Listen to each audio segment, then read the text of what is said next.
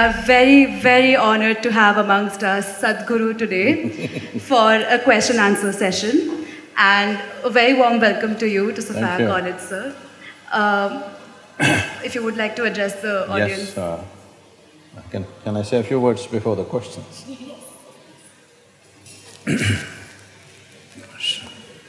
Namaskaram and good morning to everyone.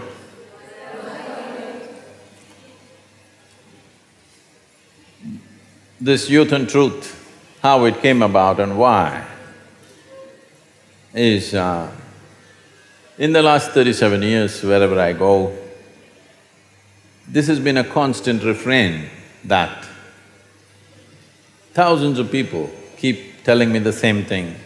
Sadhguru, when I was twenty, where were you? You came when I'm sixty and what is the use now? You should have come when I'm… when I was twenty, I would have lived a completely different life. This has been a constant refrain by thousands of people. So I thought I will step out and uh, meet all those people who are below twenty-five years of age in this country and also in the rest of the world, so that they don't complain later on. What we call as life is just a, a certain combination of time and energy. Certain amount of life energy, certain amount of time. Most people doesn't… do not pay attention to this. In Tamil language, are they Tamil people? Only two, huh? Okay. In Tamil language, for death, the word for death is kalamaitangan. That means their time got over. It's a perfect description. Just time gets over. As we sit here, our time is running out, isn't it? Hello? Is it not running out? It is tick ticking away. It doesn't matter how young, how old, what you're doing, what you're not doing, whether you're awake or you're asleep. For all of us, time is running out all the time. You can't roll it back, you can't stop it, it's just going away. So the only other ingredient that we have which we could manage and make something else out of is the energy, the life energy. Most youth do not understand this when they're young, that the segment of life that we call as youth is the time of your life when your energies are at your peak. Whole lot of people think that's how it's going to be all life. It's not going to be like that. You just have to pay attention to older people, how much trouble they're having with their energies to keep it up. So, this is just one segment of life when your energies are at their best. If only you had little more clarity about life and little more balance about yourself, you could play these energies differently because this level of peak energy will not happen again. This is just this segment of life which is referred to as youth, that energies are as exuberant as they are right now. So bringing clarity and balance means, essentially, if you have more clarity and balance, the time is running away for all of us. But if we manage our energies well, what somebody does in hundred years, another person does in ten years. That means if you live to be hundred, other people think you lived for a thousand years because of the impact of your life. And above all, every human being has a certain genius about themselves. I feel, tell me if my percentage is wrong, I feel in my perception, I feel not even one percent of humanity manages to unfold their genius. They will never find the necessary ambience around them or within them so that they can unfold their genius. Their own thoughts, their own emotions, their own nonsense just holds them down. Only one percent or less is unfolding their genius. A society or a nation or even the entire world, as a generation of people, we either rise or we live a mediocre life depending upon how many human beings unfolded their genius, how many geniuses blossomed in a given society will determine how far that society, that nation will go. So, we thought by bringing little more clarity and balance to the youth, in this generation, we would like to increase the percentage from less than one percent, if you can make it ten percent, phenomenal things will happen.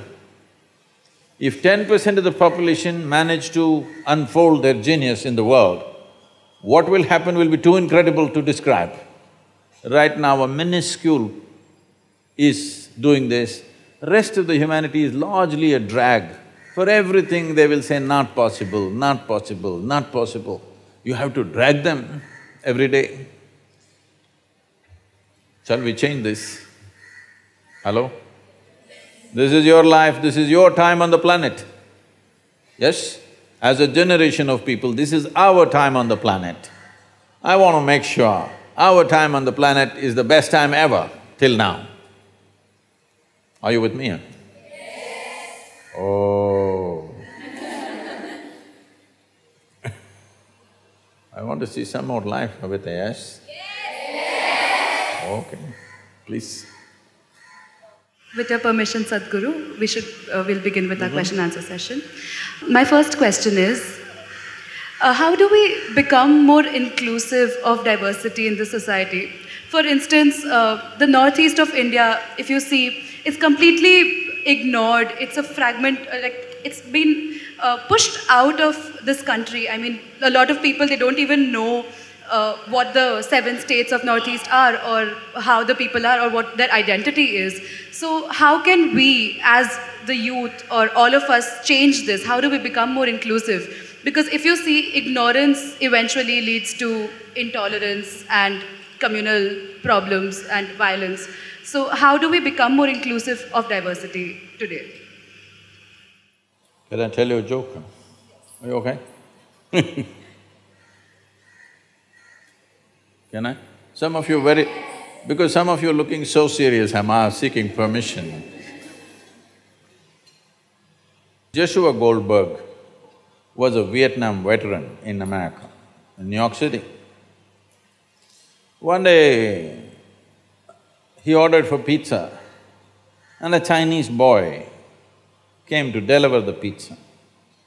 He took the pizza, paid him the money and punched him in the face. So the boy fell down backwards. Then he got up with a bloody nose and he said, why did you do that? He said, that's for Vietnam. he said, I am not Vietnamese, I'm Chinese. So Joshua Goldberg said, Chinese, Vietnamese, Japanese, they're all same to me. So the boy gathered himself and went. Later on, after having eaten his pizza, he was taking his bull mastiff for a walk. There's a law in New York City, if your dog poops, you have to pick it up. So his dog pooped on the street, he bent down to pick it up, pick it up. The Chinese boy came from behind and kicked him in his backside. So he went down, face down on the dog poop. Then he got up and asked, you idiot, why did you do this to me? The boy said, that's for Titanic. Said, you idiot, what do I have to do with Titanic? Goldberg, Spielberg, iceberg, they're all same to me.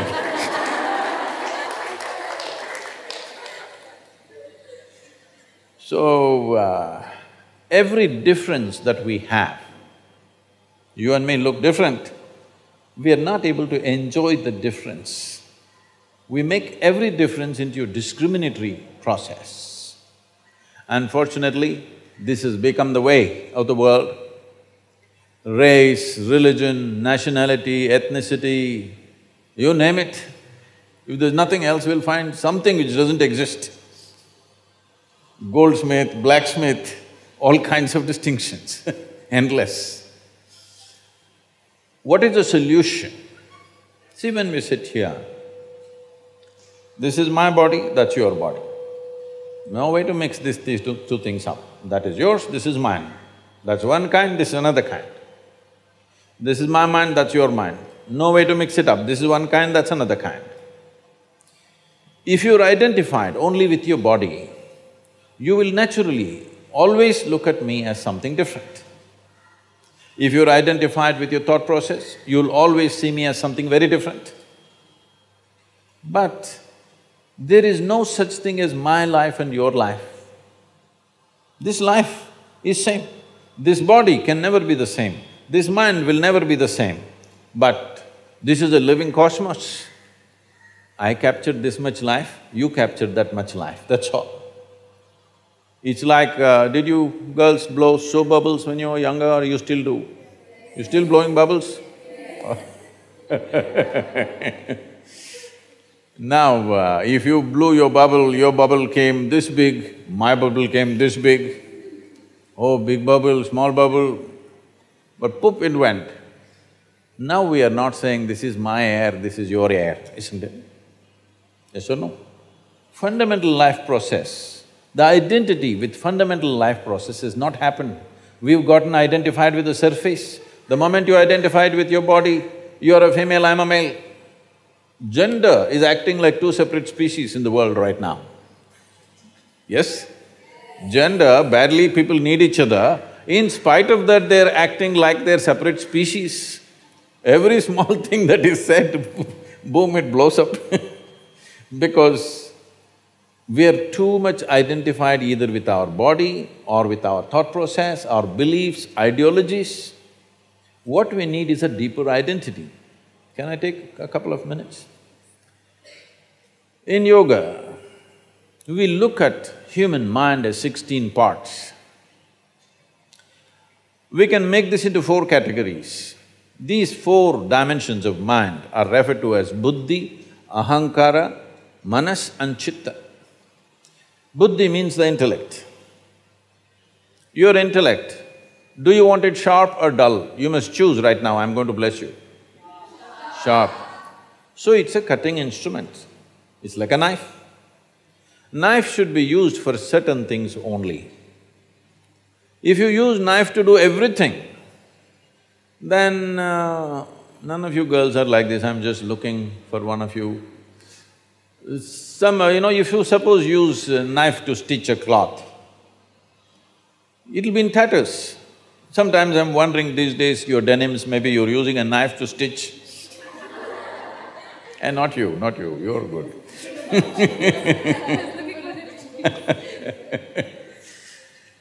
So you cannot use a knife for everything, only for dissection you can use a knife.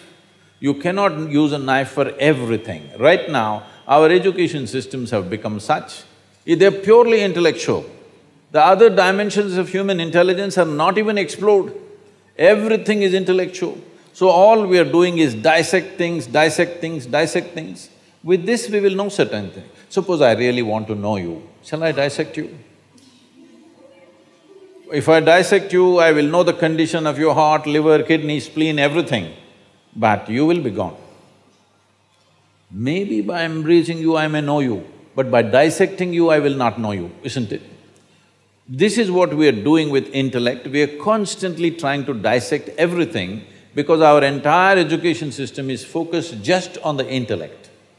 The next dimension is called ahankara. People generally think ahankara means ego. No, ahankara means identity. Depending upon what you're identified with, accordingly your intellect will function that way. Today tell yourself, I'm a woman, I'm a woman, I'm a woman. You will see your intellect functions just for that, that, that. You tell yourself, I'm Indian, Indian, Indian, it will work just for that. Yes or no? You just see the moment you're identified with something, what you're identified with always looks right, something else always looks wrong, isn't it? So this is the nature of the intellect. What is the identity? Accordingly it functions. So in this culture, we had a system, before we start education for a child, first thing is, he must say, Aham Brahmasmi. This means, my identity is with the universe. You must establish a larger identity before you empower somebody with education, because education is empowerment. If you empower somebody with narrow identity, they will do something else. See, right now, what is science and technology doing? The cutting-edge science is all going to military use, isn't it? The most horrible things that have been done on the planet have been empowered by science and technology, unfortunately. The greatest gifts that we have have turned against us simply because of our small identity. I am India or I am Pakistan, I am this or that, endlessly it is going on.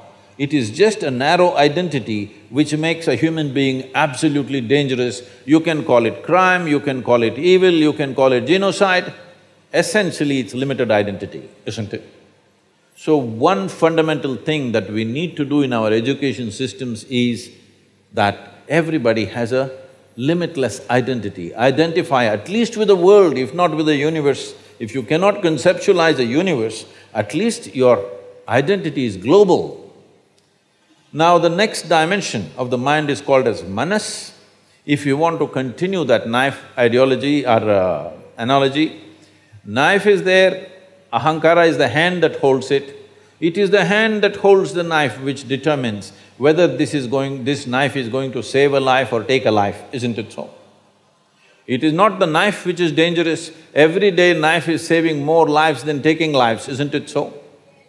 Knives are saving lives. But in the wrong hand, it will take a life. So the hand has to be tempered, the hand has to be studied. Nothing wrong with the knife, the sharper it is, the better it is. Knife should be sharper, no? Knife should be as sharp as possible. It is the hand that holds it which makes the difference. Now this hand is connected to what is called as manas, which is a silo of memory.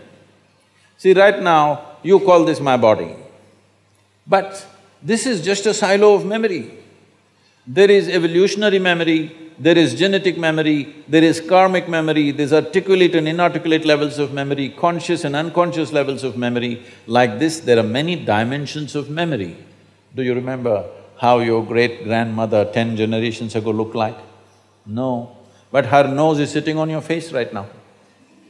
Satakshi, I got the name right for you? Yes. See Her nose is sitting on your face or no? Definitely. Your skin remembers the skin tone of your forefathers a million years ago, yes or no? So this is memory. What you call as my body is a trillion times more memory than what you ever can carry in your mind. So this memory is important and how it transmits itself into the intellect depends on the identity. How you identified, accordingly this memory will play. If you identified with a limited identity, then this memory will become against everybody else. If your identity is a larger identity, then this memory functions for everybody's well-being. So the fundamental thing is, your identification has to evolve. How does your identity evolve? The fourth dimension of intelligence is referred to as chitta. Chitta means an intelligence without, without an iota of memory. When we say memory, memory is a certain boundary. See, I remember these three are my friends, they're in my boundary. These people I don't remember, they're out of my boundary, isn't it so? Hello? Who is my friend, who is not my friend, who, who I love, who I hate, is just a question of memory, isn't it? Who is my brother, who is my sister, who is my father, who is my mother, is it just a question of memory? Memory in your mind and your genetic memory, isn't it so? It's all this memory functioning. So there is an intelligence which is beyond memory, which doesn't have an iota of memory. Where there is no memory, there is no boundary, it's a boundless intelligence. This is a living cosmos which is intelligent. It is a living intelligence of its own. Now, this dimension of intelligence also exists within us. The moment you touch this dimension of intelligence, all your limited identities will collapse. And in the yogic culture, in a very mischievous way, it is said, you must understand this in the right context, because you're looking serious, it scares me, huh? Hello? Do something to show me you're not so serious people. Because, see, suppose somebody comes and tells you, my grandmother is serious, how do you understand? She's on the way out. That's what it means if you're serious. so in the yogic culture it is said, if you touch your chitta if you touch an intelligence beyond memory, they say, God will become your slave. Whatever you wish, it just happens for you because you're not stuck in the framework of memory anymore, your intelligence. So, if we want an unprejudiced world genuinely, genuinely unprejudiced world, because today people who call themselves, people who seem to be fighting all the time for somebody, they are highly prejudiced too, in a different way, in a reverse way. This is not going to help. Pushing one injustice against another injustice is not an answer. It is not an answer for the well-being of this world. It is important that your experience of life is beyond the limitations of the boundaries of your memory, which means your body, your mind, your intellect, beyond that you have an experience. If your experience of life transcends the limitations of your physical nature, then we use this most corrupt word, corrupted word rather, a highly corrupted word called spirituality. This is what spirituality means. Spirituality doesn't mean looking up, looking down, going to heaven, no. Spiritual process means your experience of life has crossed the limitations of your physical nature. It's only because of physical body there is a clear-cut boundary between you and me, isn't it? Yes or no? Suppose you didn't have a body and I didn't have a body, we would be all over the place, isn't it? Yes or no? So, because of our identifications with physical forms, I am different, you are different. Now this difference slowly matures into discrimination. Sorry, did it answer your question? uh, Sadhguru, how do you suggest that we appropriately question authority without being disrespectful towards them? Because from our very childhood, we've been uh, taught to obey our elders because they know better and uh, they are right. But they're only humans and it's possible that they are wrong or they make an error in judgment. So, um, do you think so I'm not talking just in context of parents. It could be political leaders, scientists, experts. Me also, me. Uh, spiritual leaders as well. Uh, how do we question them to look beyond their traditional paradigm? Just the way you're doing it right now. Without being disrespectful. I do, I understand. But it is possible that do, they take it as, um, as challenging their authority. So, uh, See, respect, you use the word respect. Respect is not something that you ever demand in your life. Please don't ever do such a vulgarity that you demand respect. You can only earn it. You cannot demand it. The moment you demand it, it becomes vulgar. Yes or no? So you stand one step higher than somebody and you demand respect. Or the only stupid thing that you did is you came here a few years earlier than someone else and you demand that I'm senior. It must be happening in the college also. Huh? One year senior I am, uh, you better respect me. Huh? Just one year ahead I joined the college and now I'm senior, okay? So, this is an unfortunate reality that's well established in the world that in the name of religion, in the name of authority, in the name of parenthood, in many different ways. We have been trying to establish authority is the truth. No, authority is not the truth. Truth is the only authority. This is why, youth and truth. truth is the only authority. Nothing else is the authority. So if I ask a question, somebody freaks. See, if you ask a question, somebody freaks because they don't know the answer. Suppose you go, sit in an examination and look at the question paper, you don't know a damn thing, don't you freak? Just like that they're freaking, uh, why don't you understand? Hello? so you… they gave you a question paper, you have no clue, do you freak or no? So they are also freaking. So you must understand and be a little compassionate. When you ask a question, somebody freaks means obviously they don't have an answer. So you must be compassionate, considerate because they're your seniors. they came ahead of you, ahead of you, but they are no better than you, so they're freaking a bit. Please make way for them a little bit, what to do?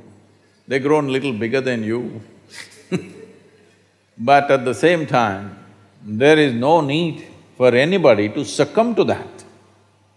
It's all right, there is no need to confront people. A question, first of all. See, a question is a tool.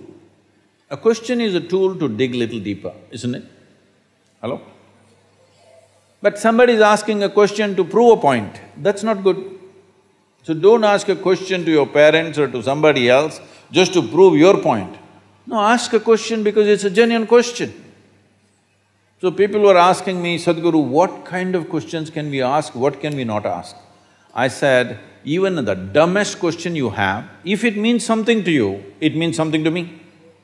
If it doesn't mean anything to you, don't ask such stupid things because it doesn't mean a damn thing to me either. But if it means something to you, maybe it's a stupid question, somebody thinks it's a stupid question, but it means something to your life, it means a lot to me.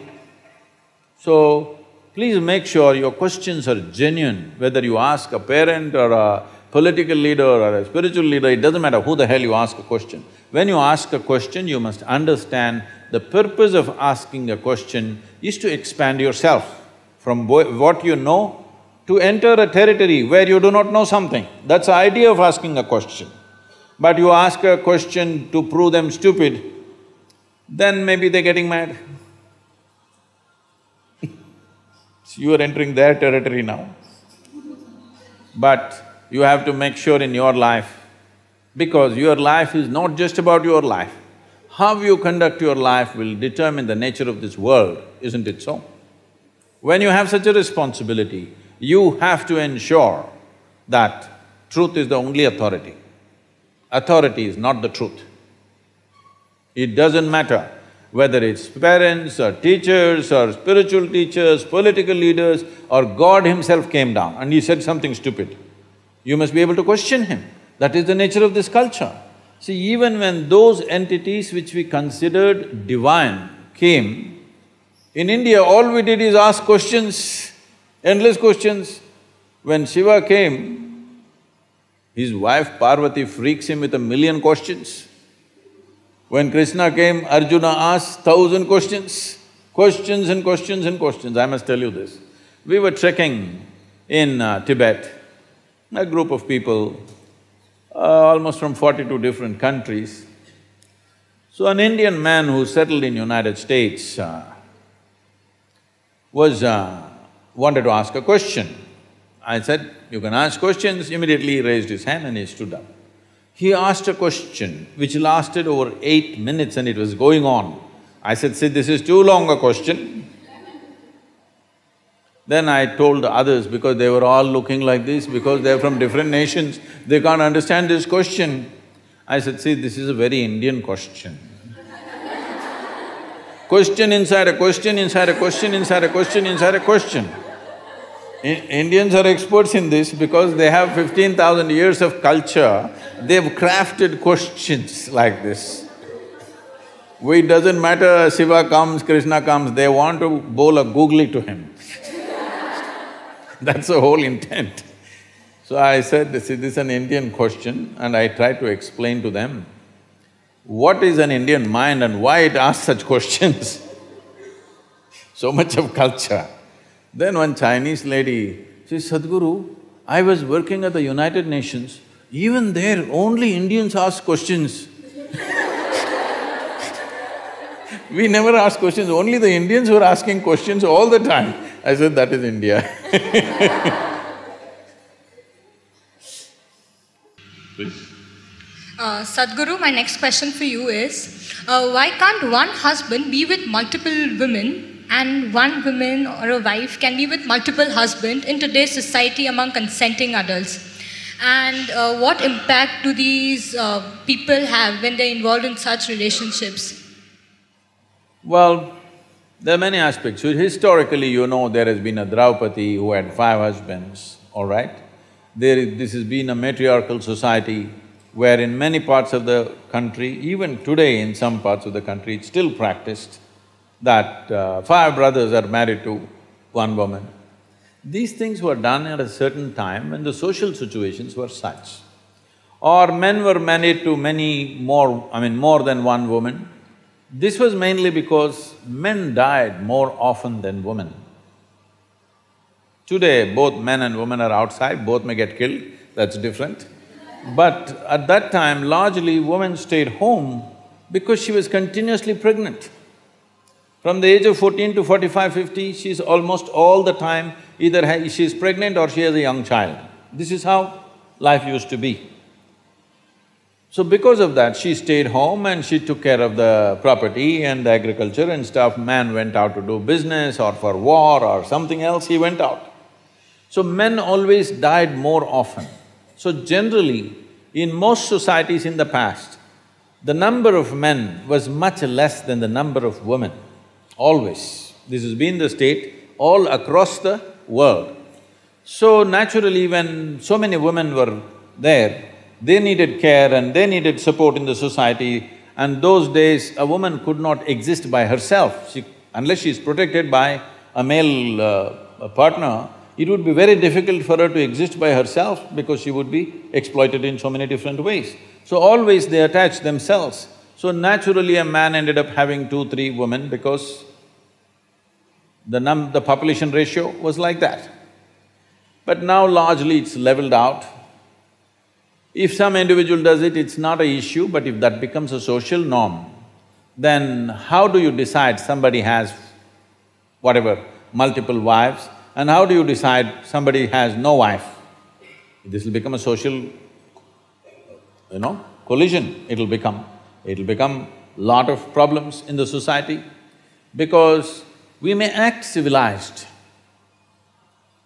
I'm… I'm very particular, I'm very clear about saying we act civilized, but we, when we are denied basic things that we need, all our civilization evaporates and we will behave, behave like animals. Yes or no? So, when fundamentals are denied, people will go flashing. So, that's not going to work in today's world. And above all, the women's condition will become very bad. Those days there was no dearth, if you had land, it was okay you had five wives, it doesn't matter. You had twenty-five acres, it was good enough, everybody ate well and that's about it. But today our requirements are not just about eating, it's about many things. So that kind of thing will lead to lot of complicated situations in the society. It's better to stick one-on-one -on -one and uh, anyway, forever people have been doing their own things beyond the legal relationships. Things have been happening in the societies. That involves a certain risk. Somebody who's willing to take that risk, that's for them. But others will live within the legal format. It's a balanced society. If you're asking this question in a more existential way, well, see, this… this is a certain framework of not just of bone and muscle and flesh. There is a certain energy framework. Only because of that, it takes in a certain form. See, if you eat mangoes every day, and let's say a cow eats mangoes every day, at some point, will you or the cow get confused whether you're a cow or a human being? Or will the cow get confused? Such a thing never happens because there is a clear-cut inner framework to which flesh and blood is added, but there is a framework, an evolutionary memory framework is there, it never gets broken, isn't it? So in this framework, how strong you keep this framework, how integ… how much integrity is there to this energy framework will determine many things about your life, many aspects of your life. Especially if you want to raise this life to another level of function, it's very important you maintain this integrity. This is why irrespective of which religion, which spiritual process, if people want to raise them till to a certain point, first thing they will talk about is becoming monks or brahmacharis or sannyasis, because the idea is to create such a level of integrity that this is a whole life by itself.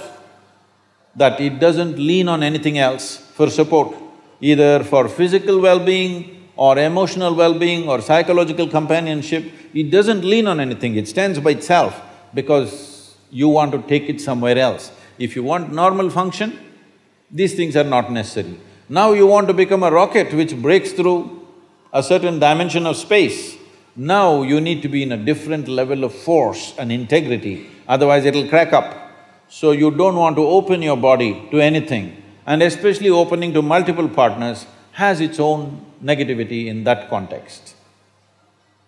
How much pain and you look at uh, Draupadi's life, how much volatility, how much pain, how much suffering she went through in her life and how much pain and suffering she caused because of her anger and jealousy and whatever else.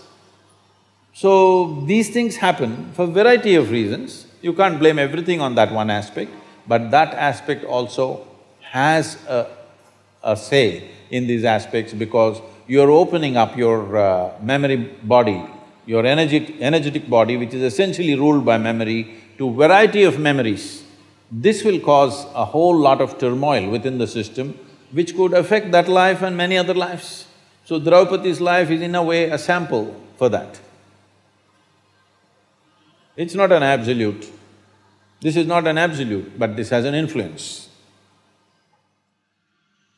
Thank you, Sadhguru.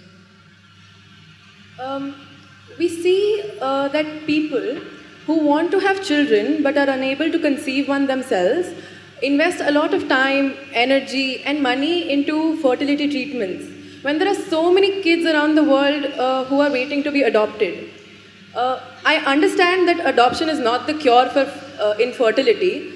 It is, though, the cure for childlessness. So, if the purpose is to uh, rear a child, have a child, love a child, provide a home, why not just adopt a child who's already waiting for a home and to be loved?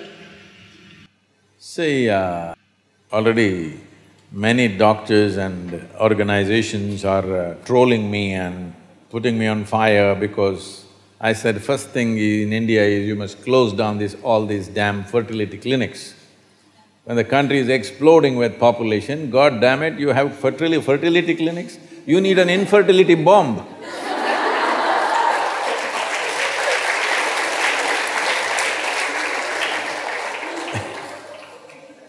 So because I said this, I'm in a lot of trouble. Now you try drawing me into more trouble. yes, uh, this problem again goes back to the first question. This is because you're so horribly identified with your own biology. It has to come out of your body, otherwise it's not yours. It is such a gross way of existence. Unless it comes out of my body, it doesn't belong to me. Well, you're married to a man or a woman, they didn't come out of your body. No, but our bodies are meeting, that's why. See, the identity has become so grossly biological, unless in some way it's biological interaction, it is not really a relationship. In fact, today, everybody, all of you have picked up these words from America. It just used to surprise me, but now that is the usage. If somebody says, I have a relationship, you're supposed to understand that they have a sexual relationship. Well, I have a relationship with you sitting here. This need not be body-based, yes or no? We're looking at each other, do we have a relationship or no? But why only body-based relationships are relationships? Isn't this a relationship? Hello? Your relationship with biology, leave it, your parents, your brothers, your sisters, leave that. Your friend, is this not a relationship? Huh? Your milkman who comes and pours milk and uh, makes your life going today, is this not a relationship? Isn't your taxi driver a relationship, I'm asking? No, no, you're not supposed to say that. If you say relationship, people will assume you're sleeping with them. Yes, unfortunate, isn't it? Relationships are of many kinds. Human beings can form varieties of relationships.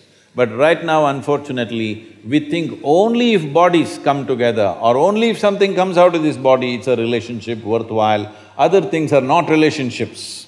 No, we have to change this language because this is causing a lot of, you know, pain to people because body is the front end. See, body is the front end for every other creature on this planet. The only reason this creature is dominating this planet is not because we have the best body. You're not comparable to an elephant or a tiger or anything for that matter, you're not even as good as a buffalo. Yes, in terms of strength and physical prowess, you're nowhere comparable. This is dominant because of its intelligence, this is dominant because of its consciousness. But right now, we are creating a world where your biology is the front end of your life. This has to change. Because the biology is the front end of your life, you think your child means it has to come through you. Not that natural child… childbearing process is a bad thing. It is just that if you were a tiger, if you were a tigress, I would say please go to the fertility clinic soon. Because, uh, you know, it's becoming extinct, huh? Their numbers are dwindling and they may disappear. But human beings, huh? Just too many. we are nice, but we are too many, aren't we? Hello? We just too many. In the beginning of twentieth century, we were just 1.6 billion people. Today we are 7.6 billion people. In hundred years or four times. But in India, of course, we do better than others. 1947, we were 33 crores. Today we are 127 crores. Seventy years? Well, this is not just because of excessive reproduction, because our life expectancy has improved. In forty-seven, our life expectancy was only twenty-eight years of age. Today, it's reached somewhere around sixty-six, which is a phenomenal achievement for the nation. It's great. But what I'm asking is, if you postpone death, should you also not postpone birth? Hello? This is not a philosophy, this is not ideology, this is simple arithmetic. Yes, this is simple arithmetic. If this many people were exiting, you are in a college right now, this year how many people exit, that many people they will admit, isn't it? Doesn't that work for the globe also, for the planet also? This many people exited, so this many people should come in. If you say this, you think, are you doing animal husbandry with us? Are you doing Hitler's business? This is what, oh, this is Nazi talk. Well, you multiply unconsciously, nature will do it in a very cruel way one day. Yes? If we don't consciously take steps as human beings, nature will do it one day in a very cruel manner. And that cruelty won't come like bang like that, it happens slowly. Crushing happens slowly. Already it's happening. Farmers are committing suicide, students are committing suicide, all kinds of people are doing all kinds of things. Why? Somewhere life is becoming hard, isn't it? Though as a generation we have highest levels of comfort and convenience, life is becoming hard simply because of the concentration of population. We are doing all kinds of ecological nonsense, but right now United Nations is making a prediction by 2050, we will be 9.6 billion people. Madam, you have to raise your floor, fifty floors. No, no, this won't be enough fifty floors you must raise because they will be full like ants everywhere. 9.6 billion people, nobody can live well on this planet. Instead of making a prediction like this, we will be 9.6, why can't we plan? By 2050, we will be 3.5 billion people. Oh, what should we do, what should we do? If you don't do anything, population will go down.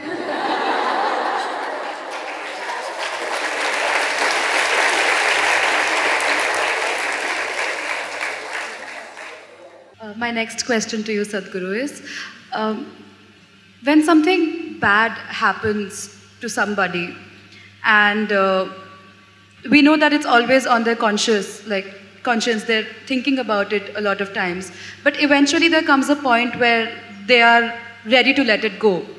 But somewhere there's a guilt that if they let this thing go, like something that that's been that's troubled them for so many years, there's this guilt where they're they don't want to let let the past go because they feel guilty of letting it go. So why does that happen and how do we let go of that guilt? Like even if we take, for instance, sexual abuse, if a girl is sexually abused and eventually if she reaches a point where she is ready to overcome it, but she feels guilty to let it go because it has troubled her for a very, very long time. And not just her, the ones around her as well. So is it right to let it go at that point or like how, do, how does one deal with a situation like this? See, I think this struggle is coming from a misunderstanding that something either unpleasant or terrible that one may encounter in one's life, it can just happen to anybody in so many different ways. If it happens, people think they must forget it. No, you should never forget it. If something terrible happens to you, you should never ever forget it, because if you forget it, you may walk into it again. But we must know the distinction between what is memory and what is living. You are living. Memory is a dead memory, you're supposed to use it as wisdom to see such things don't happen to you in your life. But… but it's a fact that for most people, what happened ten years ago, they still suffer. Hmm? What may happen day after tomorrow, they already suffer. Yes or no? what happened ten years ago or even ten days ago does not exist right now, does it? Does it? No. What may happen day after tomorrow does not exist right now, does it? No. So you're suffering essentially something that does not exist. How many of you are psychology students, huh? Is there a, a medical term for those people who are suffering something that does not exist? No, no, don't tell them please, they'll suffer that. if you are suffering something that does not exist, on some level it means insanity, isn't it? This may sound very cruel to you right now when I say this, because, oh, I got my pains. See, you're… you're carrying your pains like badge, don't do that. When something bad happens to us, when something hurts us, we can either become wise or wounded, this is a choice we have. Either we can become wise with it or we can become wounded with it. As we already went through this, life is just a certain amount of time. It's ticking away. As you sit here now, you are one hour closer to the grave since you came here. Yes or no? Yes, it is. It's going away for all of us. So in this, where is the time to carry every experience like a wound? No. This must become your wisdom. If terrible things happen to you, you must become wiser than others sooner than others, isn't it? But unfortunately, most people choose to become wounded simply because, again, in our systems of education, we have done nothing about the nature of human mind. We are busy studying frogs and cockroaches and trees and chemistry and physics and planets and everything. No attention to the nature of this one. So we don't know how to use our faculties. The greatest faculties that you have right now as a human being is, you have a vivid sense of memory. Everything that happened, you can remember as if it's alive right now. Yes? There is a repository here, there's an archive in your mind which can replay the whole video if you want. But this has become a problem. You started suffering the old movies. And there is a fantastic sense of imagination, so you already suffer a tomorrow which is yet to come. This is basically because we have not taught our children and the people in the world how to employ our faculties, how to use our memory, how to use our imagination, how to experience life right now, how to sharpen the experience now. Your whole life is happening between these three dimensions. Memory, present experience and imagination. This is your life, isn't it? These are three dimensions. We call them trikala, three dimensions of time. All your experience of life is happening here. But if you lose distinction between what is past, what is present, what is future, then everything hurts. For not everybody terrible things have happened. Unfortunately, for a few people they have happened. But the rest of the people are simply suffering something, isn't it? because it's fashionable to suffer. Just people think if they're suffering, they are very intellectual, they are very profound. No, it's just stupid because you're suffering something that doesn't exist. You're not suffering what's happening right now. You're suffering what happened yesterday and you're suffering something that may happen tomorrow already. So this madness has been encouraged simply because we never train people how to use their faculties. Do you agree with me that this human machine that you carry and I carry, this is the most sophisticated machine on the planet? Hello? Have you read the user's manual? User's manual, have you read? No. When are you going to read it on the last day? if you get a phone, if you buy a phone, should you read the user's manual in the first three days or after three years when you're discarding the phone? Earliest, isn't it? Within the first day you must read, then only you can use this phone well. The same goes for this. If you do not understand the nature of what this is, how will you put this to use? It is consuming you, your own intelligence is consuming you. You can call it stress, anxiety, pain, suffering, whatever.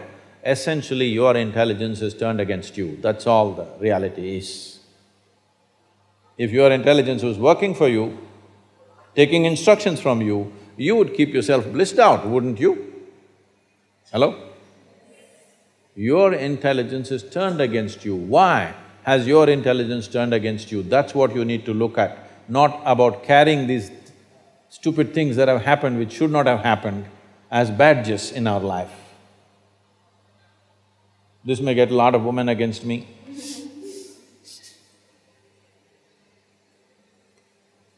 If I was against you, I wouldn't be here.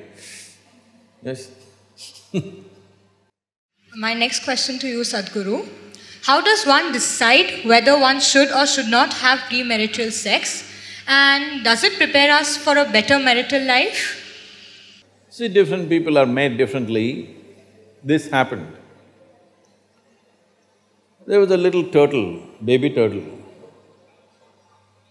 With great difficulty, it climbed up a tree, went and sat on the edge of a branch and jumped, fell flat on the ground.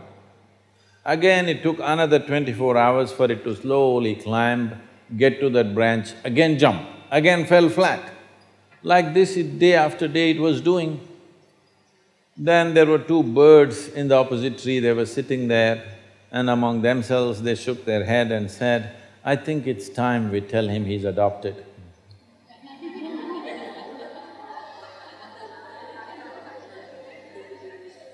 For everybody, we are trying to draw the same prescription. This is not going to work because I've seen, you know, every day I'm meeting thousands of people, they're poor, their problems on me, all kinds of stuff.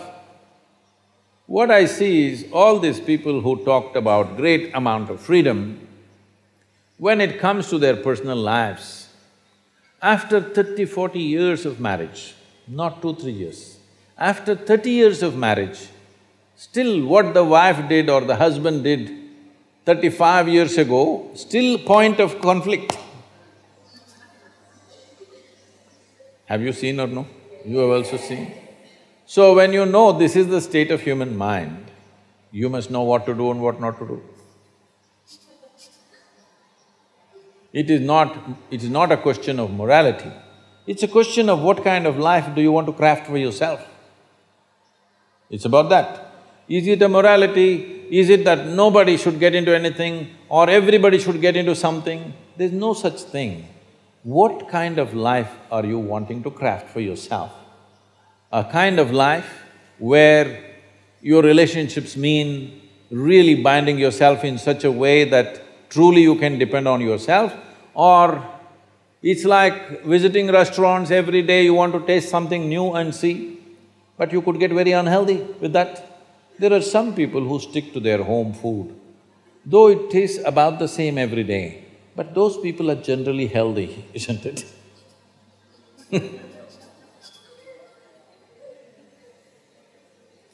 This is not… I'm not trying to teach you a moral class.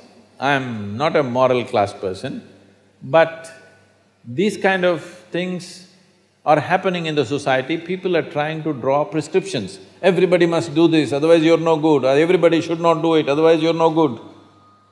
No, that's not the way. There was a time in this culture and even every culture, by the time a girl is fifteen or sixteen, she was married. By the time a boy is seventeen or eighteen, he was married. Now because of our education systems and professional requirements and society has changed, everything has changed.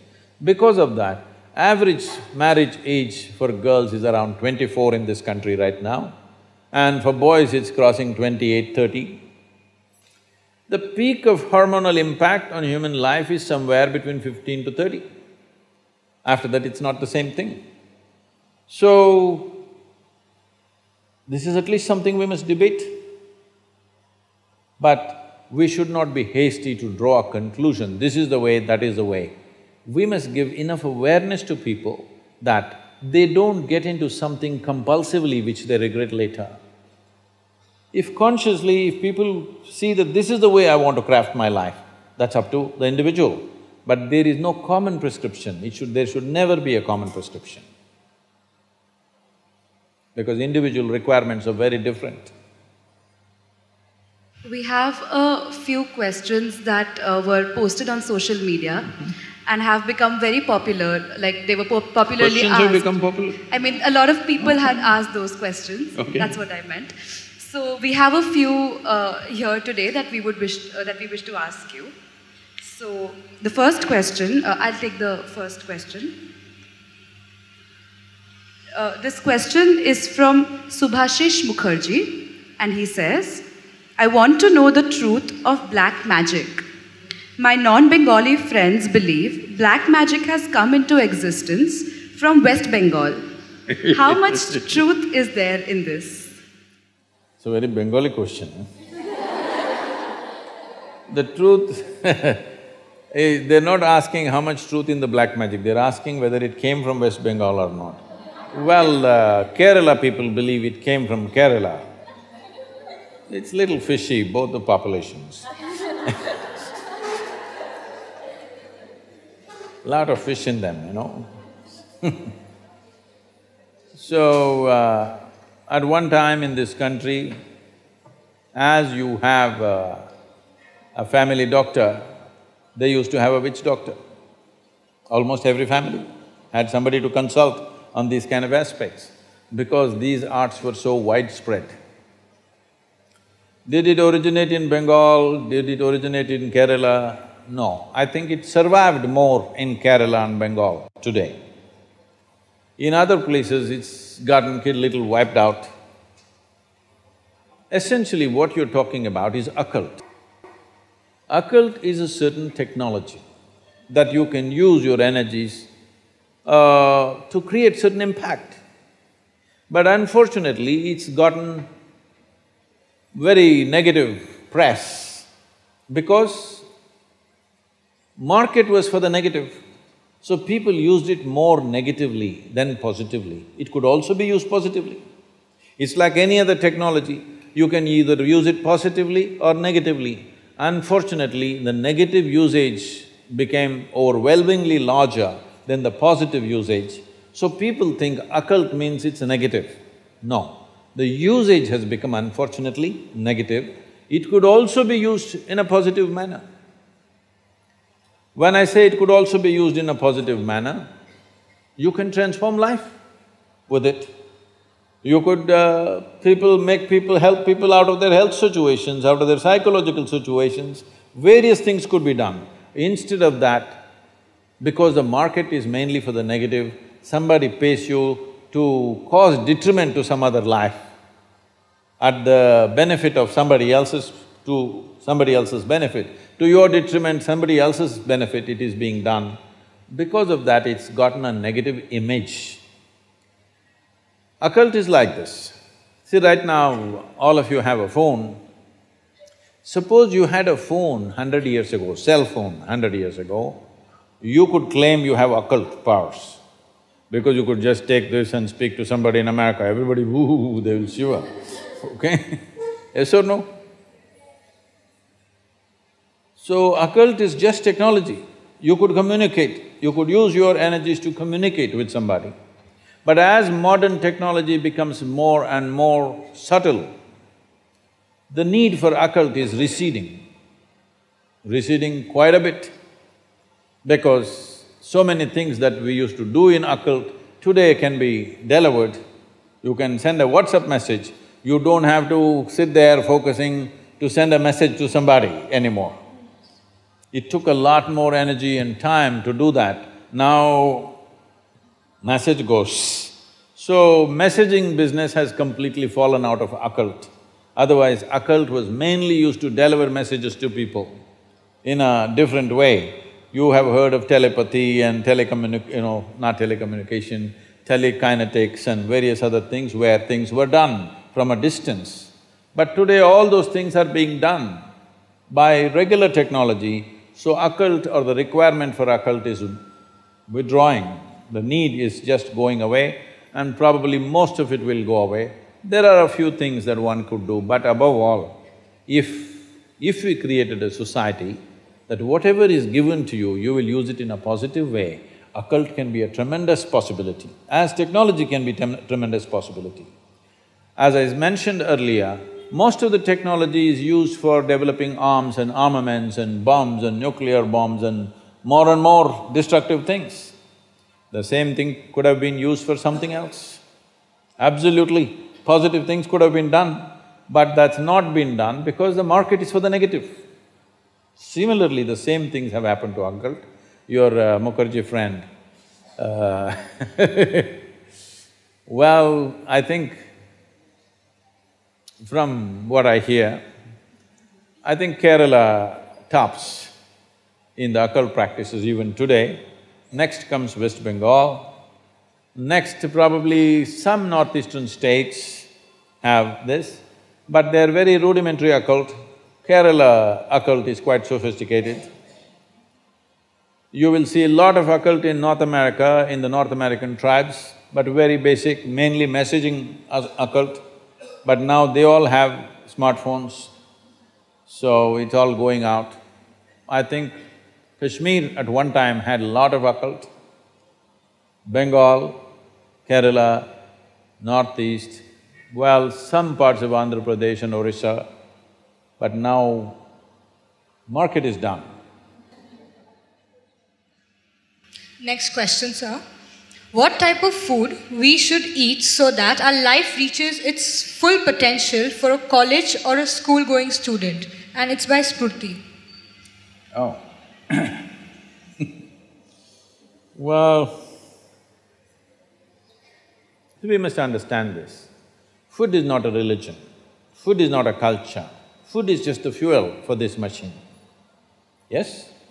There may be cultural aspects to the taste, there may be even religious tinge to the food over a period of time, but essentially food is fuel for this body. So with what kind of food will it function with minimum struggle within itself and maximum impact?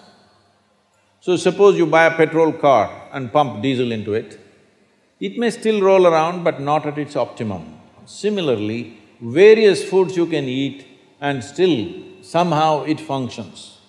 But those communities which have eaten with care, you can clearly see a distinct difference in the way they function, the levels of intelligence and whatever.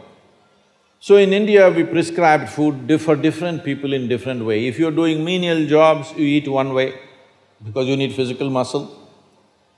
If you're doing other kinds of trading and other kinds of activities, you eat another way. If you're a fighting class, you eat differently.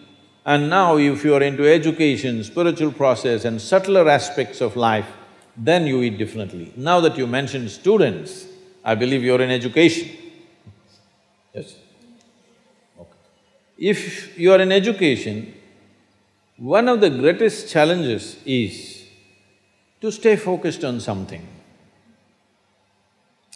The goddamn textbook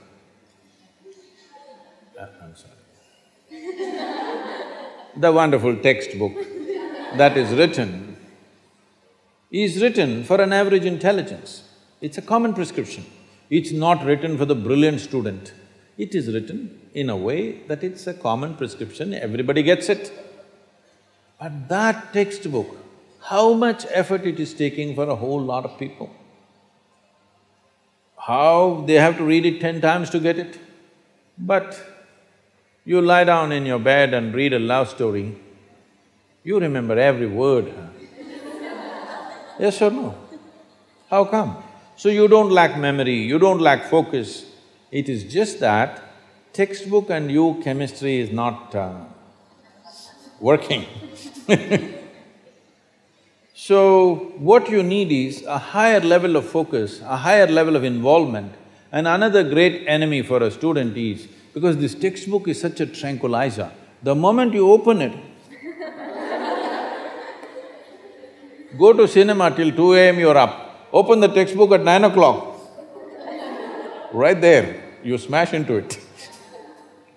So sleep is another big enemy. So what kind of food do you eat so there is no inertia in the body? In yogic way of seeing things, we are looking at tamas, rajas and sattva. Tamas means inertia. Rajas means activity but no balance. Sattva means absolutely balanced kind of energy. When you're in education, you need a very balanced kind of energy because you have to focus on something which doesn't naturally interest you. It's not something that… with which your chemistry is gelling. If your chemistry is gelling, you are always focused on that one, isn't it? Here there's no chemistry, but you have to focus on that. For this you need a balance and a steady mind. For this you need, need to eat in a certain way.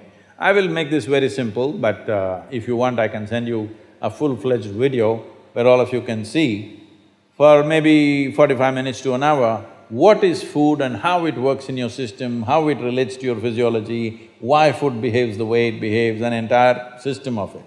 But to put it very simply, food goes through your body through the alimentary canal. From your mouth to your anal outlet, there is a pipe. Through this it runs, going through various stages of digestive process. Many of you are biology people, right? So, it goes through the alimentary canal. Now it begins with the… the lip. Here, if you look at this, all the herbivores and carnivores, if you look at the animal kingdom, there are herbivores and carnivores are two main segments of animals in the world. One eats vegetable matter, another eats meat. If you look at the alimentary canal, the way it is built, between herbivores and carnivores, there's a distinct difference. Everything in the human being suggests that you are naturally a herbivore, but for the sake of survival, we became carnivores. If you look at the movement, jaw movement, all the carnivorous animals have only cutting action. Herbivores have cutting and grinding action. There are molars, but carnivores don't have widespread molars, they have just incisors, canines, and everything looks like cutting teeth. So they do only this. All the herbivores do grinding. What do you have? Both. So you are supposed to chew your food. Why you are supposed to chew your food is you have enzymes in your saliva where if you take a little bit of raw rice and put it in your mouth just for a minute, you will see it turn sweet right here because right here uh, carbohydrate is being converted into sugar, right here. So if you eat properly, then we say about thirty to fifty percent of your digestion should happen in your mouth. So this part of the digestive system is expecting half digested food or partially digested food. But right now the way we're eating is mostly we're putting not only undigested food, but partially destroyed food. So the amount of food that you need to get the same amount of energy has increased. You are eating much more food than what you should eat to generate that much of energy. Because of that, there is inertia in the body, because it has to process so much more food than what it should, there is inertia. Once there is inertia, your sleep quota increases. How many hours do you sleep on? Hello? Eight hours. You're going by the prescription, huh? hmm? See, this is not that you must deny yourself sleep, that's not the point. But if you eat right and do a certain things with your body, you see very effortlessly within three to four weeks, you can drop your sleep quota anywhere between two to three hours. One and a half to three hours, very easily you can drop if you just eat consciously and just learn to sit properly. You know, just the posture, your geometry of the body and what goes into the system. If you just manage these two things, you will see sleep quota will just come down like that. Just to tell you, for over twenty-five years, I have largely managed with an average of two and a half hours of sleep. Now I'm getting lazy and I'm sleeping, averaging somewhere around four and a half hours now, but seven days of the week, okay? 365 days, non-stop, on, on, on, ev almost every day. My daughter didn't call me for a month, I asked, what the hell is the problem with you, why are you not calling? She said, every six hours you're in a new city, what the hell am I'm supposed to do? So I said, okay, which is true. in one day, sometimes we're doing three cities, so it's a non-stop activity. And today, many people around me have learned to do this. Over 100, 150 people around me are doing this kind of activity, averaging four hours sleep and seven days of the week, they're on, on, on, all the time. And uh, they are not irritated, they are not frustrated, they're joyful and they're wonderful. Why this is this? There are many aspects to this, but one important aspect is food, how you eat. Not only what you eat, how you eat is also very important because food is a live thing. One simple thing all you girls can do is just see various health issues and inertia issue, focus issue, just bring forty to fifty percent of the food in its raw form, that means it's alive. It must be a live cell, it can be a vegetable, it can be a fruit, it can be a nut, it can be sprouted gram. At least forty to fifty percent, the food that you eat must be alive. You eat dead food and you want to live, this is a little difficult thing to do, because you have to raise the dead now. but if you eat live food, one thing you will see is the state of your mind, your focus and your sleep quotas, and above all, staying awake is not good enough, you have to stay alert, isn't it? How alert you are, how focused you are, only to that extent everything yields to you in this world, isn't it so? What is the level of focus will determine whether the world yields to you or not, isn't it? And one more aspect of life, one more aspect of food is, when you consume something, it must be of a simple uh, genetic code in the sense, it must be a very simple software. Vegetables, fruits, nuts, sprouts, they're very simple. More complicated means animal food becomes more and more complicated. Suppose you eat an animal which has some amount of emotion and a life of its own. Now the code in that, we were talking about this, your body is just an accumulation of memory, which means a certain software, isn't it? This is the most complex software. Human software is the most complex software on the planet of all the creatures. From an amoeba to this, this is the most complex… I'm not talking about her. Uh, she's looking… yes, yes this is the most… this is safe. This is the most complex software.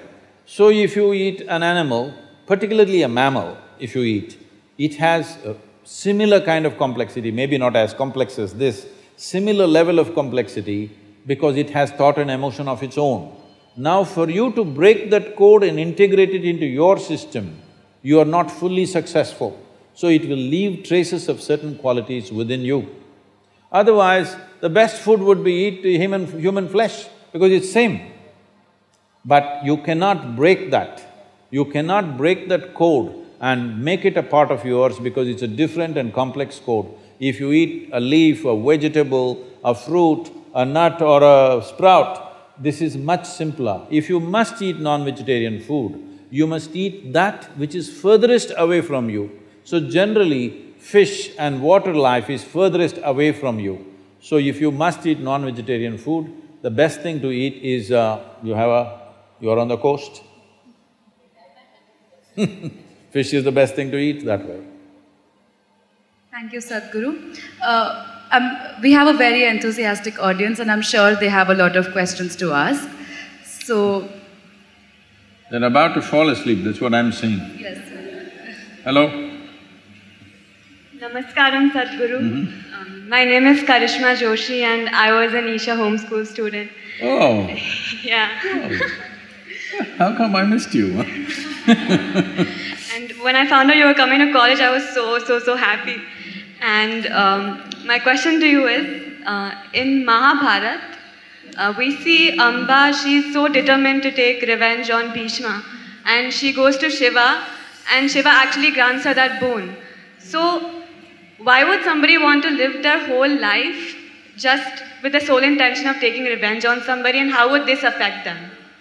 Thank you. Well, whether we like it or not, there are such people in the world, all right? Yes or no? Are they there or not? They are there. So Mahabharata is depicting all sorts of people. Every kind of character that can exist on the planet is there. There are over hundred thousand characters representing the best, the worst, in between, every range is there. So she is one. Because, see, just now, some time ago, uh, when she asked the question, uh, something horrible happened to somebody, an abuse happened to somebody, and that person not willing to forget. Some will become hurt and wounded, some will become angry and vengeful, depending on their own nature and also the situation in which we exist. So she is uh, in a royal setup. Here, uh, vengeance is considered honor. Vengeance is not considered vengeance. Vengeance is considered as a virtue. When somebody hurts a king or a queen, they must go and finish them. Till you finish them, your job is not done. This is the culture that… in which she is. We must not look at it from today's time and today's culture that you are in. That time she is in a royal family, she is a princess and she is insulted. She feels horribly insulted by what happened, you know what happened to her life. Now she wants to, at any cost, extract a price for that. So she goes for that. So she is asking uh, Shiva, the question is why Shiva is assisting her, is that it? Is that the question? Yes. Uh, Shiva is like that only. because, uh, you know, this happened to him. Once Ravana, you heard of Ravana? Ravana came to Shiva and worshipped him and praised him and glory. So he loved him so much and he said, you ask whatever you want, I'll give you. And that guy says, I want your wife. Shiva is in a mood like that, he says, okay, take her. Parvati is having a bath in the Manasarovar close by. And this guy goes looking for Parvati to take her home. Then somebody goes and tells her, Shiva has granted permission that this man who's come from somewhere in the south, he can take you and go with him. He said, ah, yes, he lost his mind. then, you know, you have heard of these things. Have you been kissing frogs? No. You don't believe that story? This started long time ago. so Parvati took a frog and made this frog into a beautiful young woman and left her in a lake adjacent to Manasarovar, which is today called as Rakshasthal. So Ravana went straight to Rakshasthal and saw this young woman. He thought, she is Parvati, took her and went home. Then he realized she has come out of a frog. But she was Mandodari, that's why she's called Mandodari, one who came out of a frog. But she was beautiful and wonderful woman, so she became his queen and stayed there. But his… his thing about wanting to take somebody's wife again took him to Ayodhya, you know you know all the trouble, that's another matter. But you must understand this, that which you are referring to as the highest or the divine cannot be discriminatory, isn't it? Hello? If God says, whoever the God is, if he says, I'm responsible for these people, I'm not responsible for those people, is he fired or no? Hello? Fired or no? Because essentially, It is a response, a limitless response. When something responds to everybody, if their thing is right, then we say this is divine. It only responds to me, not to you. This is not divine, this is my party, isn't it? Hello? So when Ravana, as a great devotee, he worshipped him, he said, ask whatever you want, but that guy should have civilization. But he has nothing like that. He says, I want your wife. He says, okay, take her and go. So in that context, she burns in front of Shiva and says she's doing austerities after austerities, putting herself to extreme difficulties and says, all I want is to kill this man, give me the power. He said, okay, have it. But this does not mean it'll lead to your well-being. See what happened to Ravana. The same. Uh, a man was driving in Mexico and he ran out of gas. Then he walked and there he saw a local monastery where monks were living with very meager resources. He said, my car is run out of gas, do something. So the monk said, see, we don't have anything else here, we don't have cars, we don't have gas, but I can give you mule, mule. You ride on the mule to the next town and then you can get gas there and come back. Only thing is, we have trained the mules like this, you sit on it, you don't beat it, you don't do all that, you just say, praise the Lord, it will go. When you want it to stop, you say, Amen, it will stop. So he sat on it and said, praise the Lord. It went and went and went, did the whole day it travelled. Then he saw the mule was going straight towards a cliff edge. He wants to stop it, he's doing this, that, but he's forgotten the mantra. He tried everything, but the mule is just going straight to the edge of the cliff. It came right here, about to take its next step. Then he remembered and said, oh man, it stopped. He looked down two thousand feet below. Oh my God, praise the Lord.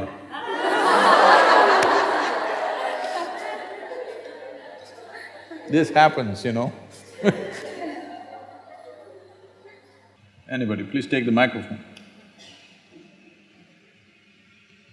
Good afternoon, sir. Uh, my name is Pritika. I'm a grade 12 student. Um, so we're studying and living in this very overly competitive world where everybody wants to be the best. Um, and sometimes I find a difficulty in deciding what the right path is for me. Because even though I may be good at, say, dancing or singing, there's always somebody who's better than me. Um, so my question to you is, how do we find the motivation, sorry, how do we find the motivation to do something that we like for the sole purpose of being happy ourselves instead of um, following into following the society's demands um, to you know be the best at what we do thank you now uh, this ailment has caught us quite a bit we don't want to be the best really if you really look at it because you don't know what is the best. Does somebody know what is the best? Hello? Do we ever know what is the best? We don't know. All we want is, we want to be better than the person who is sitting next to us. This is a disease because what you're enjoying in your life is not what you have. You enjoy what she doesn't have. She's number two. That's the only joy you have. When you enjoy something that other people do not have, or when you enjoy other people's suffering, when other people's suffering is the source of joy for you, I think it's sickness, not joy. Hello? Yes or no? It amounts to sickness or no? But right now, this sickness has caught all of us, right from an early age they're teaching you this. At home they told you, you must be first rank. You never asked, what about the other children? I asked my mother this, she thought I've gone crazy. I asked, what about the other kids if I come first? She said, this boy is crazy. Because she's repeating what was told to her by somebody else So if I come first, what about the other children? It doesn't matter. You must sit on top of everybody's heads, only then life will happen. No. If your joy comes from the source of other people's suffering, you… it will not lead to well-being, either your well-being or the world's well-being, isn't it? So why do you want to be the best? What is important is, this life should find full expression. Hmm? Everything that this one has should come out of this in this life. This should not go unfulfilled. Whether it's better than that one or not is not even the issue. And every human being, have you seen one more person just like you? How fortunate, see? There isn't another human being like you because one more person like you on the planet would be trouble, huh? Too much. One is too much, isn't it? Two like you, ten like you would be impossible. So, nobody is like you. The important thing is, will you unfold all the possibilities that you hold within yourself? This is all the concern should be. But right now our systems are created like this all the time, who is fast, who is best, all this rubbish. Well, competition is okay for short term. You want to run a race, okay, who's going to win? That's fine. But life is not a race. If life becomes a race, and if you want to win, you must hit the finish line first, isn't it? What does it mean? you want to hit, hit the finish line today? No. So you better not win, you'd better not be the best. So don't make life into your race. Limited sport we will play here and there, where we race with each other. Just to test our grit, all right? Huh? You and me are going to race right now. Now we will race like our love. life depends on it for a short period of time. But if you make your entire life into your race and if you win, you're gone. No, no, not a good way to do life. So you don't have to be the best, you just have to be the best that you can be. Everything that you can be must happen. You don't have to be better than somebody else ever, it's not necessary. And nobody can be, because every one of you is a unique being. When you're unique, is that better? Or you're one up on somebody, is that better? You are unique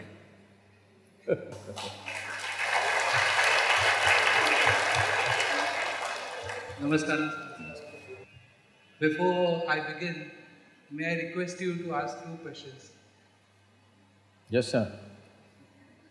Before that, I love you so much. Ah. Oh, you Oh, he just broke my heart. Sadhguru, my uh, first question is, um, I'm not able to pull out uh, myself from the grief. Like, you know, whenever I see a child begging on the street, girl or a boy, I just, my conscience just keeps biting me like, you know, you are not doing this for them, you are not doing that for them. So, um, then I talk to myself saying that if I could earn unlimited, I could do so many things for them. So I want to, I don't know how to get out of this uh, feel, this feeling whenever I see, I just, you know, my legs start walking towards them. And uh, I, I just uh, spoil the mood for myself. So how to, how to, how to be practical? Like how, it's too much of emotion which is disturbing me. See, uh, there is an unfortunate reality in the world, particularly in our country, where uh, many people have not eaten properly, a lot of children still go to bed without food in their stomach. This is a reality. But today, there is some encouraging news because United Nations has made a study and shows in the last decade, that is from 2006 to 2016, they made a study and they said about 270 million people in the country have come out of the poverty line in the last ten hours ten years rather, in the last decade. It's a fantastic news, isn't it? You're not saying anything, huh? In this country where over 1.4 million children were dying of malnutrition before they become five years of age has come down by nearly uh, 430,000. Still 970,000 are dying, but we must celebrate the success, very important. Because everything needs a momentum, success needs a momentum. If you grieve over things which are bad, you will give momentum to those things which are bad. You must give momentum to those things which are solution. Don't give momentum to the problems, give momentum to the solutions that are happening. And the choice that you and me have is just this, do we want to be a part of the problem or do you want to be a part of the solution? This is all the choice we have. Now, let us say ten people are miserable here, more than ten faces are looking miserable. Let us say ten people are miserable here and uh, because I see these ten faces, I will also become miserable, miserable. Have I solved something or have I added to the problem? Added to the problem, now there are eleven miserable people. So it's very, very important that if we want solutions, we must go beyond our natural, you know, reactive emotions that we have towards various things and look beyond that and see what is the solution. For that solution, we must strive continuously. Will the solutions happen immediately? No. Maybe it'll not happen in our lifetime. But are we a part of the solution? Always are we a part of the solution. Will all of you young girls take this stand in your life? You will always be a part of the solution. Hello? Always no matter in what situation you are, whatever the situation of your life, it could be personal, it could be social, it could be national, you are always a part of the solution. You will not take sides with problems. Hello? This one thing you take in your life, you will see, you will know the joy of unfolding all your capacity. When you're part of the problem, your possibilities will not come out. When you're part of the solution, you will do things that you never imagined you could do in your life, simply because you will unfold into that possibility. So just become part of the solution. This does not mean you are the solution, no. Because there are people busy always creating new problems. If you solve one problem, they create a new problem. This happened. Can I tell you a joke? You all right? You're not too serious for that? No. A woman in Tennessee, you know, our center in the United States is in Tennessee. So, uh, a woman in Tennessee was marrying for the fifth time. So she was uh, just a day away from marriage, she was having dinner with her fiancé. And she served him mushroom soup.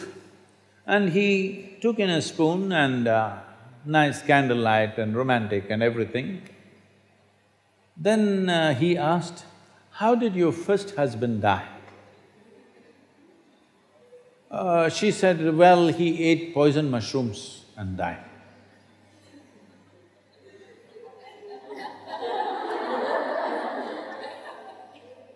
Okay. How did your second husband die? Oh, he also ate poison mushrooms and died. Now he kept the spoon there. But how did the third one die? Oh, in fact, he also ate poison mushrooms and died. Now he got terrified. He asked, how did your fourth husband die? Well, he died of a broken neck because he refused to eat poison mushrooms.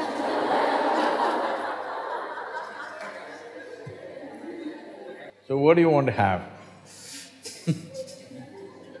Let's be part of the solution. We are not the solution on this planet, we are part of the solution. We are adding to the solution, we're giving energy and strength to the solution, that's all.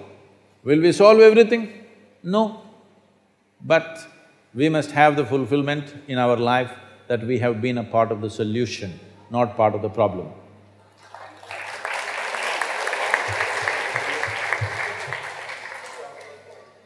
How did you fall in love with me? Social media love, is it?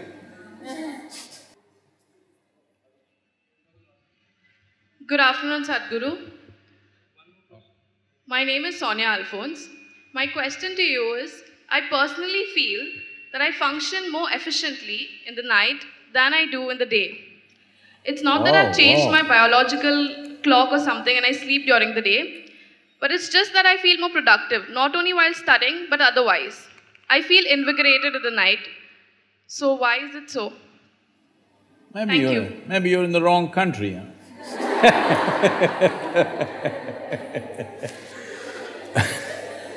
There are three types of people who do not sleep in the night.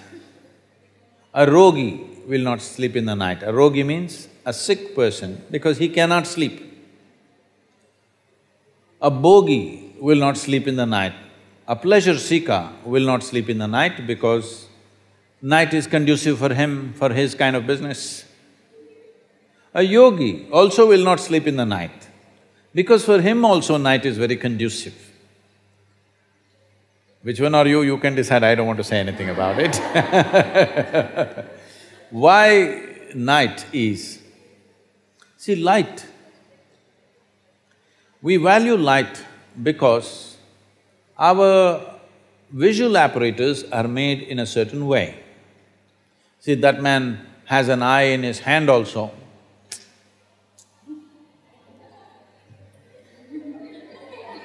Yes, because we value our visual apparatus so much, we thought two is not enough, three should come. Normally here, but if somebody got it here, what to do? Wrong place, but at least you can close it and open it. But we value our visual apparatus so much simply because they designed in such a way that only in light you can see. What light does to you is, it makes everything distinct. See now, because it is lit, I can see this person, this person, this person, this person, this person. Suppose lights went off and it this became dark, I just see a mass of people. I don't see this person, this person, this person. So there is a certain sense of lack of boundaries in the night. So for yoga, for sexuality, for friendship, for being together, for study, for focus, for all these things, night seems to be more conducive because the difference between what is you and what is the other comes down in the light… in the night simply because our visual apparatus function like this. Where there is no light, everything merges in our experience. So a yogi, a bhogi and a rogi, all three of them make use of the night. You can also make use of it, there's no problem unless you're sleeping in the classroom. If you're not sleeping in the classroom, it's fine, nothing wrong with it. But you will see, you try this and see, mornings are a nuisance. But, can I share something? I was made like this. I… if I sleep in the morning, normally my school used to be eight thirty in the morning, from six forty-five, my mother and my sisters will start waking me up. It's a series of uh, efforts. Many things, they'll make me sit up in the bed, they'll come and twist my arm and do this and this. My mother will do it gently, my sisters will do that. Then they will drag me and my mother will put toothpaste on the toothbrush and give it to me, I'll stick it in my mouth She'll get me my clothes and say, go and sh have shower, it's time up, time up. I go inside the bathroom and fall asleep. If nobody wakes me up, till one o'clock, two o'clock in the afternoon, I'll just sleep like a rock, not wake up and roll around, simply dead. But I started practicing yoga at the age of twelve. In about maybe eight to nine months, after that, no matter where I am, even till this day, where I am, which time zone I am, every day I'm in a different time zone, but at 3.35, 3.40, I just come awake because some changes happen in the nature at that time. I… my body just comes awake. If I want, I can get up and do what I want. If I don't want, I can sleep some more, but it always comes awake. So you have to bring some sensitivity into the system that, see, you are a product of this planet, yes or no?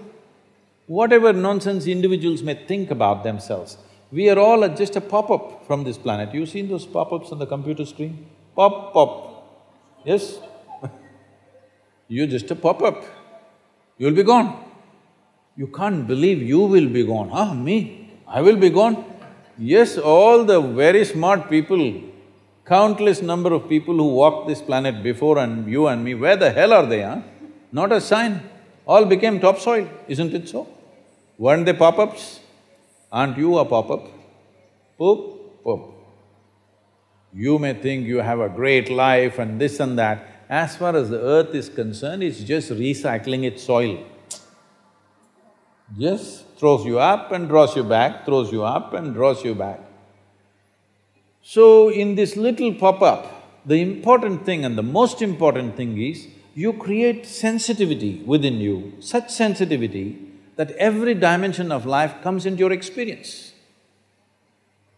Before you fall dead, is it not important? You experience this life in this fullest possible scale, yes or no?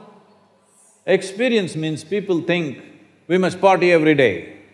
No, no, same damn thing how many times you will do. There is much more for the human life to explore. You must become sensitive. When I say sensitive, because the word sensitive is used in a wrong way in the sense, when people say, oh, she is very sensitive, we are supposed to understand, uh, she will get hurt for just about anything. Yes? No, being sensitive to life and being ego-sensitive are two different things. Being sensitive to life means if you walk into this hall, you experience everything that's here, you don't miss a thing. If you walk outside, you don't miss a thing, every dimension of life should come into your experience. This happened. Shankaran Pillai bought a work… Uh, what? He bought a work donkey. And the man who was selling the donkey said, see, this is a very sensitive donkey. You cannot beat this donkey. You cannot use bad words, you cannot abuse this donkey. Shankaran Pillai said, that's great. Every day I'm tired of beating these donkeys and abusing every day I have to use filthy words to get these donkeys moving. I like a sensitive donkey and he played, paid little extra bonus for the sensitivity of the donkey and took it home. He left it in his… in the barn and tomorrow morning he has to go to work. He went there and told the donkey, please let's go. No response. He said, please, let us go. Nothing. He went down on his knees and prayed. Nothing. You're not supposed to abuse it, you're not supposed to beat it. Not knowing what to do, he went back to the man who sold the donkey. See, I, I, I requested, I pleaded, I prayed, he's not responding, what am I supposed to do? That man said, is that so, let me see. And he came. He picked up a thick stick like this. One whack on the head. And then he threw the stick and said, come. The donkey followed. Shankaran Pillai got furious, you idiot, you said it's a sensitive donkey, and the way you hit this animal, I've never hit an animal like this in my life. He said, no, no, no, he's very sensitive, first you have to get his attention. so, developing sensitivity means, if you simply close your eyes, uh, you must know what phase of moon it is right now. Because all this is playing in your body. Every day it is playing in your system. Do you see if it's a full moon or a new moon, the entire ocean is coming up? There are tides, isn't it? You ever been to the ocean side or you don't? You do? There are tides? Yes. The whole ocean is trying to rise. Seventy-two percent of your body is water. You think nothing is rising? It is. For every position of the sun, moon and many things that are happening to the planet, they're happening to you. You must become life-sensitive. Then you will know how to manage every aspect of your life. Don't become ego-sensitive, don't become society-sensitive life sensitive if you become. What's happening this, with this life if you know this one thing all the time? You will see, you got your GPS on, There's really no problem, you will never get lost. It doesn't matter who says what, what kind of situations you're put into, you are never ever lost because you're life sensitive. This is all this life needs, that this has to become life sensitive. Right now, we have developed a psychological structure which has got nothing to do with life, it's got something to do with the social scene, got nothing to do with the life. Thank you very much. I think people… Are we okay? Because people are looking at watches, so I thought I've exceeded my time. Um, that was the last question we were taking. Uh, if you have any other questions, you can put it up on social media. Uh, Sadhguru, we would like to thank you so much for gracing us with your presence today. We would like to thank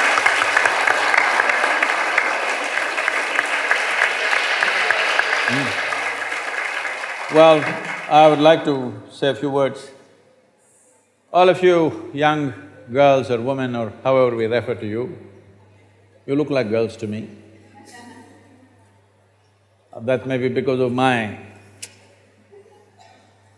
See, I want you to understand, everywhere in the world, but particularly in our country, so many young women of your age in rural India, in various other levels of society, what all they're going through in terms of lack of nourishment, lack of education, abuse, all kinds of terrible things, no opportunity of any kind. All of you have come into a premier institution like this, make this a possibility, don't get tangled up with your own thoughts, emotions and make a misery out of this life.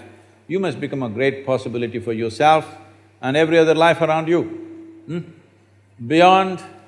beyond gender, beyond race and religion, even beyond nationality, just function as a human being. This education should become an empowerment to empower you to become a great human being, because without producing great human beings, we are not going to produce a great nation. May the best be with you. Thank you very much. Thank you.